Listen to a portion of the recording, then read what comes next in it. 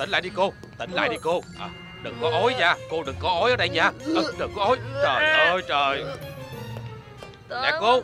cô ơi cô. Tránh ra tránh ra chỗ cô đừng có ói ở đây mà. Nè cô.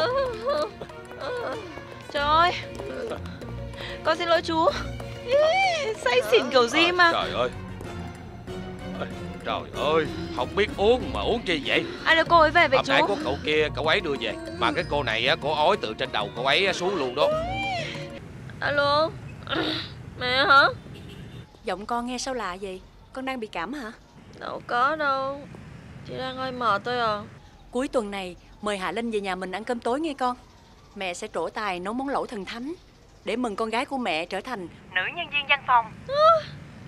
Thôi đi con sợ cái món lẩu của mẹ lắm à, Mình đi ra ngoài ăn nhé Không có được. Lâu rồi con không có về nhà. Với lại ăn uống chỉ là phụ thôi à. Cái chính á là mẹ muốn cả nhà mình quây quần bên nhau. Nè, nhớ gọi cho Hạ Linh nghe không?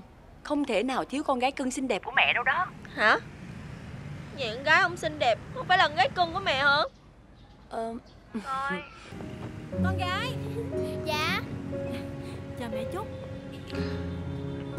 Đeo lên đi con. Đi học ngoan nha. Chào ba đi con. Con chào ba con đi học. Con gái ba đi học ngoan. Dạ Vô Con chào con. mẹ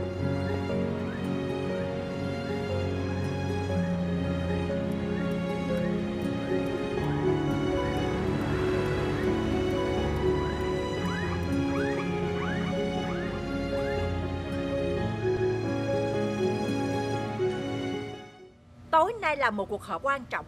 Không ai được vắng mặt hay là chuồn về sớm. Bởi vì tôi đã coi nó là một cuộc họp Nên ai vắng mặt tôi sẽ trừ lương. Ok. Oh yeah. Cậu bé đáng yêu của tôi. Tối nay cậu cũng phải có mặt. Nếu không có cậu Không biết những chiếc túi sách của tôi sẽ đi đâu về đâu. Biết không? Yes madam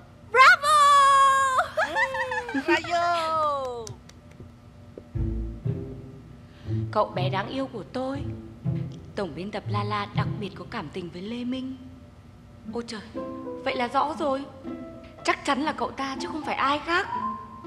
Từ giờ mình sẽ thu hẹp lưới tình Tập trung săn bắt con cá chép vàng này mới được.